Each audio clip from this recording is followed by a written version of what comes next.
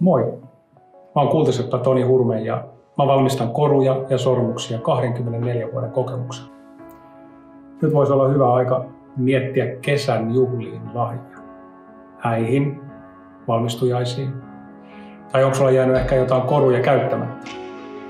Tiesithän, että niistä voidaan suunnitella jotain aivan uutta tai päivittää niitä vanhoja. Materiaalin kierrätys ja niiden eettisyys on minulle hyvin tärkeää. Ja nyt kaikki suunnittelusta toteutukseen se voidaan hoitaa etäyhteyksien avulla. Ota yhteyttä.